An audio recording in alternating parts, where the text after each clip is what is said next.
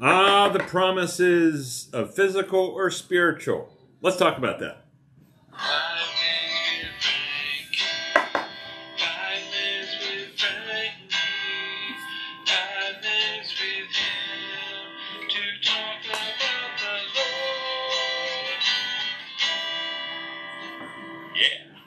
I should do like a King James version of that song. Five minutes with Frankie. Wow.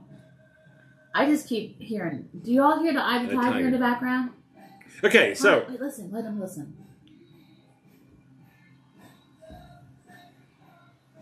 oh, that's why I like an Egyptian. I say that is not Eye of the Tiger. Good morning, beautiful people. It is Monday. Can you believe it? The week, other week, she gone. First day of the week. Yesterday was wonderful. Uh, church time and family time, and it was good. Anyway, Walmart time. and one more time. That's our, our our official weekly date to Yeah. Walmart. official. So um, we have physical promises and spiritual promises. Nine times out of ten, we want the spiritual promises. But a lot of times we pray for the physical. Um, I love that people want to pray for the physical. I, I think God is the healer. I think God is wonderful. He would He would heal people mentally, emotionally, and physically. And but if, if it's His will, but if you come to really know the New Testament, it's more about spiritual health. Yeah. And sometimes we pray for physical things and we don't get it, and we get upset at God. Well, we're all going to die, guys. You know, when we when we're pain and physical or mental or emotional, God doesn't want us to go through that pain. But on the other hand, there's sin and there's our minds and our bodies are degrading because of sin in the world. And so when quote unquote America was founded, um, from the time it was founded until the Revolutionary War, um, there was like hundreds of years between that. We, we forget that. We just like jump from one to the other. That's true. And a lot of the people that signed the Constitution and were in charge at that time believed highly in the Bible.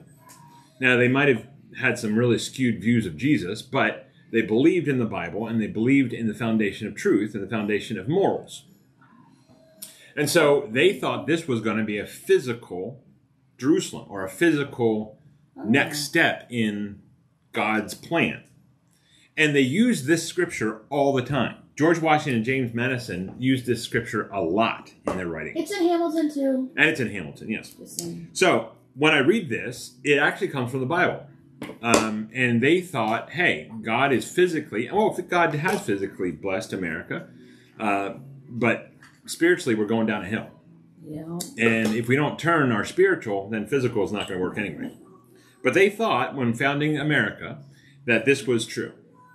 Everyone will sit under the own vine, and under their own vine, and under their own fig tree. And no one will make them afraid, for the Lord Almighty has spoken. So they used that as quote unquote an excuse to start America. That this was going to be like the second Jerusalem, the second, you know, wonderful place that people can have freedom. And that document, I mean, everybody loves to copy the, the document that we have, the Constitution and the Declaration of Independence. Um, and I think God did bless us, but we're going down a Penrose path, people. We need to turn back. And so this this scripture is actually talking about spiritual. Um, Micah was warning um, Israel and uh, Samaria about God's going to come. They're going to judge. That you know you've done you've done wicked things. You've uh, oppressed the poor. You've cheated out people. You your prophets are telling lies, and God was going to judge. And then Micah turned it to hope that there is going to be hope. If you go through this physically, there's going to be hope spiritually coming up. And- trees. Right.